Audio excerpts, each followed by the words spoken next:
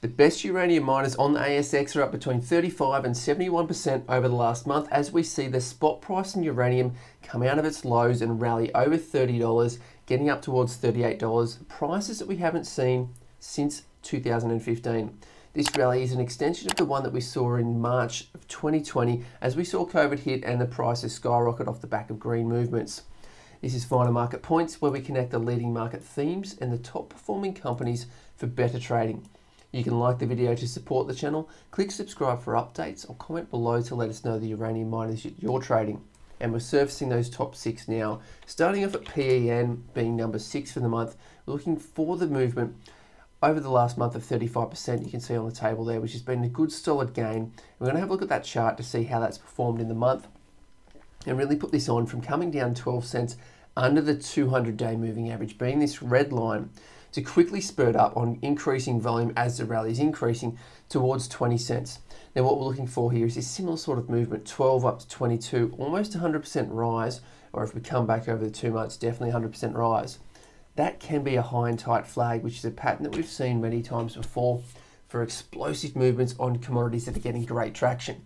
And this happens a lot of times on the ASX where we do see those good trending companies have 100% gains and then shoot out and do once again, putting on a similar sort of gain. So that's potentially a high and tight flag.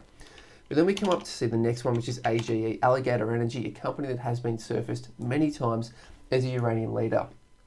We can see that through that May period, building up to be a, high and tight flag, 15 cents, coming up to 30 cents, coming down for a bit of a retracement, very short one, and then quickly spurting up. This failed and didn't happen to break out, but we're going to two and a half to five cents there's a potential for a high and tight flag there. Time will tell, but for the month, it's 43% gain from Alligator Energy. Now we move up to SLX, Silex System. SLX is in the exposure as well of the commodity. 46% gain over the last month, and you can see most of that's been in the week. We're coming from under a dollar, under the 200 day moving average, this red line. Quick rally up. Friday's trading session got it up over $1.60 but closed back down towards the lows of the trading session do see some selling pressure come in as it's back up towards these January highs that we did see some decent volume changing hands and a bit of volume increasing as the rally got started in the last week or so. That's Silex Systems coming in at number three. We move up for Paladin Energy, PDN, which is a favourite and a well-known trading company for uranium. Has a lot of exposure there. We do see 45 cents almost getting up to, we're trading at 80 cents and almost closing at those highs. This is a phenomenal run. If we bring it back to the lows, this is almost 100% gain and really does set up that criteria for what Mark Minervini calls a power play. So Mark Minervini is known for his volatility contraction pattern, but this crosses over the high and tight flag where we do have a strong thematic pushing and huge volume. Look at this volume down here, coming with massive breakout and coming over what could be a VCP. So here's one contraction, second contraction, a third, and then breaking out over this swing high to come up to this recent rally that we've seen for Paladin being third position and put on 47.5% over the last month. We move up to second place, we're going to see EL8. So looking at EL8's performance over the last month, we're at 55% gains. Jumping over to have a look at that chart, similar sort of thing here, we're almost at that 100% gain from the lows. Did manage to stay off the 200 day moving average from the rally. So the last rally took it from sort of the 15 cents over to 45. Good strong rally, but didn't maintain it for another breakout. When we see it got to 30 cents, that's the setup for a high and tight flag, a very tight flag, not even enough to really consolidate there. But it did break out and then went on for another 15% gain, which is what you're looking for in that flagpole movement. So this flagpole gain about 100% from the base, 15 cents, and then consolidates and then breaks out. This is what we're looking for with high and tight flags. If we can see this momentum in the uranium stocks continue. So this has got number two position for the month, 55% EL8. We bring this out to have a look at the leader, we're looking at 92E being the ticker. So 92 Energy, we're looking at 71% gain over the month.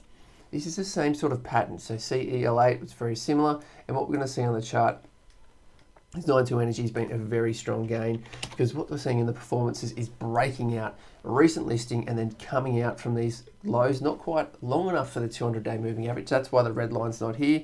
You can see when it comes up to 50 days, the green line starts. We're still not up to 200 days trading yet.